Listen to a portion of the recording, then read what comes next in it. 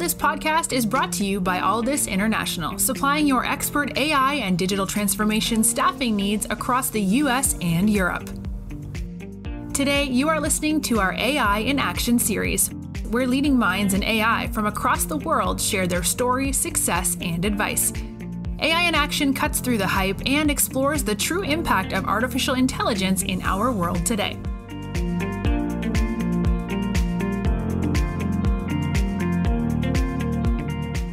You're listening to AI in Action. I'm your host, JP Valentine. Our guest today is Chris Whitney. Chris is the Chief Digital Officer at Monarch Tractor.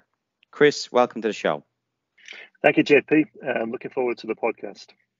So, Chris, let's start with yourself, please. Can you give us a, a bit of background on your journey through technology, from where you got started, some of the roles you've held along the way, and take us up to today, where you're the Chief Digital Officer for Monarch? I started my journey in at the end of the 1970s. I, I, went to university in the early 80s and studied computer science. And whilst I was there, I got enamored with artificial intelligence. So I, I did my degree and my master's degree, and then I started working for some research labs in the UK, British Telecom, Marconi, and then I ended up with HP in Bristol working on AI. And then I moved over during the, the dot com rush to California, to Silicon Valley to do some startup things. But I also worked with HP Labs in Palo Alto. And then more recently, have been out in Asia, in, in Singapore. I was running the research labs for Hewlett Packard focused on AI, big data, and cloud computing. And then a couple of years ago in 2019, came back to Silicon Valley to join Monarch because I, I, met the founders of Monarch and I really liked the vision. And, and I could see how, with the vision of Monarch, how my background and AI and data science can really help Monarch on the vision and the journey that we're that Monarch is taking farmers on. So, mm. yeah, at, a, at, a, high level, span three geographies, um, computer science, software all the way, but AI is my passion.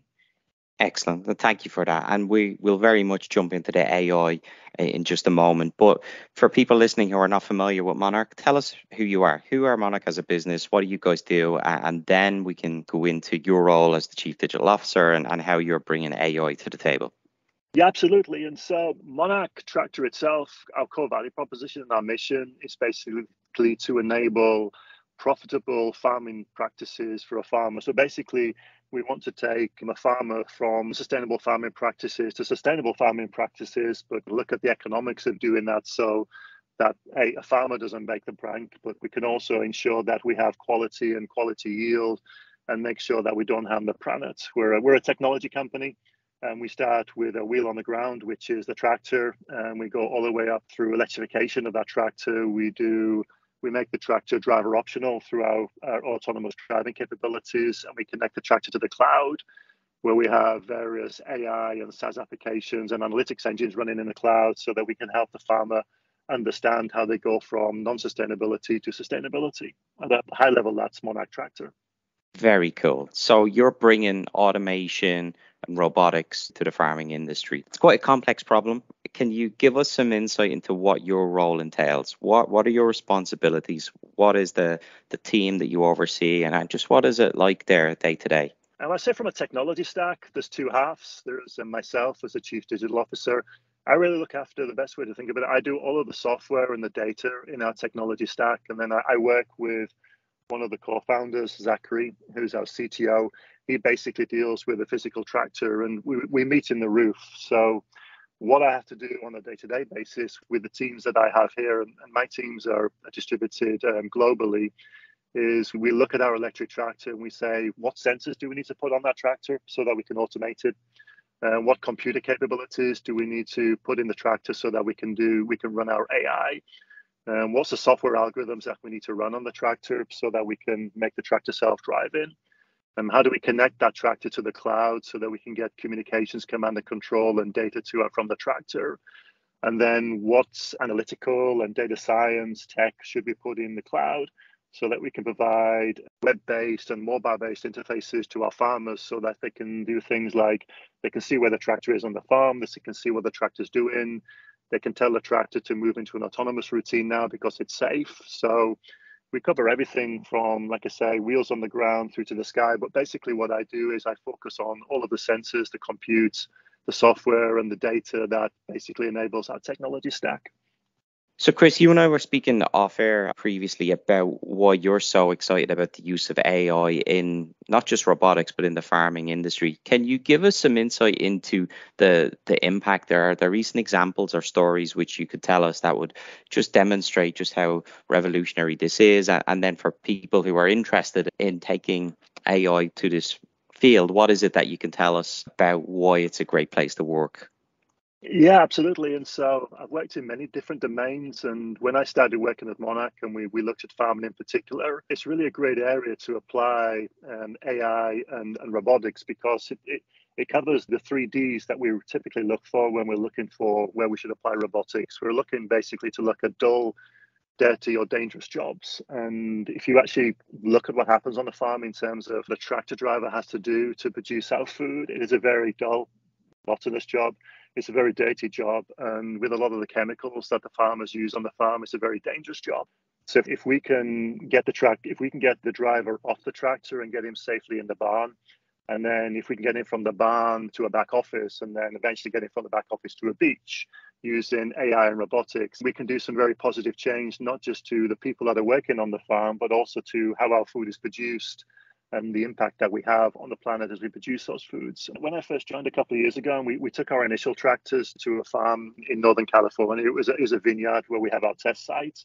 We were watching what people were doing when they were driving tractors. And, you know, you, one thing you start to realize with, with high intensity farming is there's just row upon row upon row upon row upon row of crops whether these are, are, are, are, grapes or cherries or almonds or citrus, everything these days is going into what they call vertical trellis. And for example, one of the one of the farms we work on, there's a 50 acre field which has 75 kilometers of row length, which basically means if you drive a tractor through that field to do either mowing or spraying or weeding, as a driver, you're sitting on that tractor because you're typically doing about five kilometers an hour. You're sitting on that tractor for 15 hours, just looking at the row, keeping the tractor in the center of the row.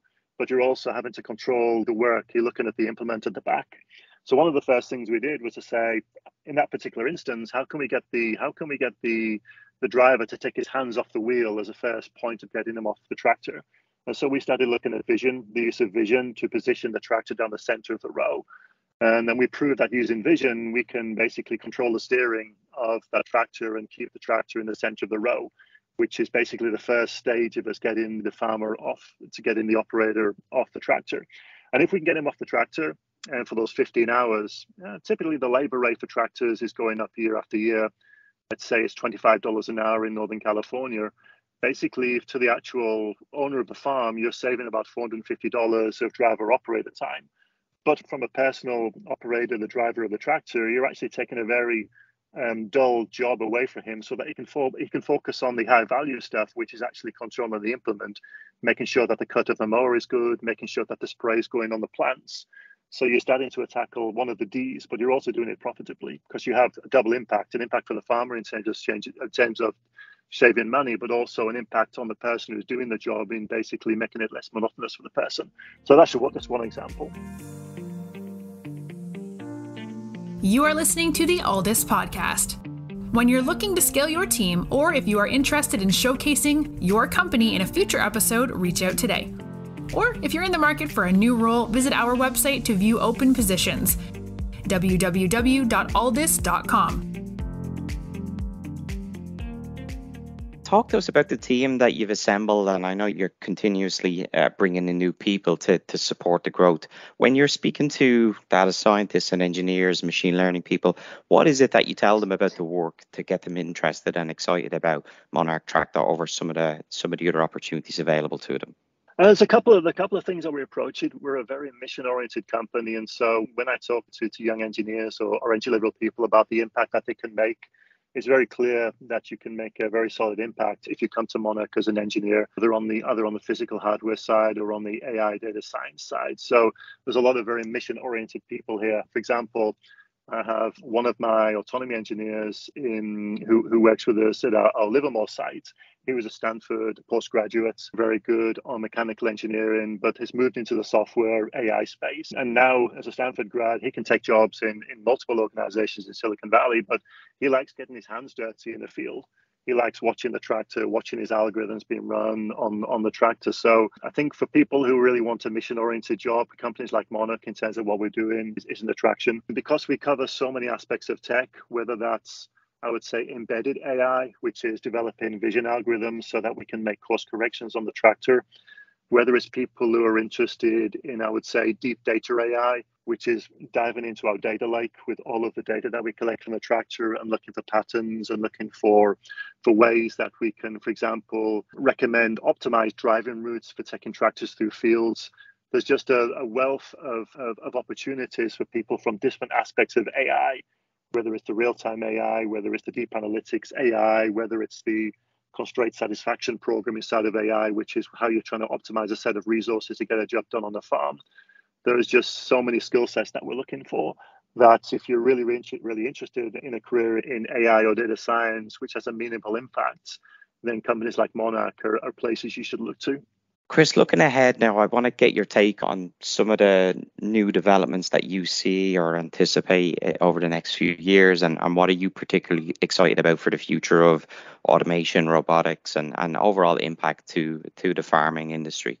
And so what we're seeing a trend to, towards more and more two things. We see the technology advancing to a state now where we can actually apply more automation and, and robotics. So, for example, a lot of what we're doing these days is enabled by um, the availability of different types of sensors so that we're not just talking about the lidars and the radars but we're looking at the cameras um, we're looking at the stereo cameras the hyperspectral cameras the multispectral cameras and the gps technologies and the formats that they're coming in and, and more, more particularly the, the drop in price points and the functionality that's actually been embedded in those sensors mean, mean that we can do more and more on the farm and that we can actually develop more and more of these advanced vision algorithms that can work on the farm, but they can also work on a farm in environments which are suboptimal with a lot of spray, a lot of dirt, a lot of sun glare when you're out in the field. So I would say the technology is getting more exciting so that we can apply a lot of the stuff that we've wanted to do for decades in automation in, in domains like farming.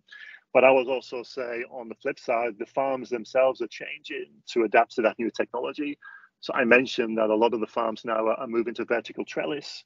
Um, and those vertical trellis means that we can actually do more automation. We can run tractors or, or, robots down those rows, but we, because we know where the fruit is now and we can be more predictable, we can actually do things like automating not just spraying, but we can actually pick the fruit because we can develop actuators now and that can actually go in a fairly straight linear path using machine recognition, machine learning recognition to understand where the fruits are, and then we can now to act, we can actuate the tractors. So that I think the trend we're starting to see now um, with the adoption of the farm and the advancement in the platforms for, for, for, for, building automation and robotics is that we'll see less and less people on the, and the farm will become more and more of a factory where the, the farm is being run by software, which is being run by robots, and there's less and less people in these dull, dirty, dangerous environments. For example, I, I feel a glow of satisfaction anytime I can stop a tractor operator having to go in a vineyard during spraying season and he doesn't have to sit on the tractor for 15 hours in a hazmat suit because they're basically spraying a very dangerous herbicide. Chris, thank you so much for coming on today and talking to us. Really appreciate you giving some insight into your own background and, more importantly, talking to us uh, about the work you're doing at Monarch Tractor. It's an incredible use of AI, data science, analytics, robotics, and having a good impact. So it's certainly a great case for AI for good, and very exciting to see what what you guys are working on and what's in store for the future of your industry. We really appreciate your time. And yeah, sounds like a, a fun place to work with a good impact. So thank you so much. Really appreciate JP and um, thanks for the time and helping us get the message out there. Thanks a lot.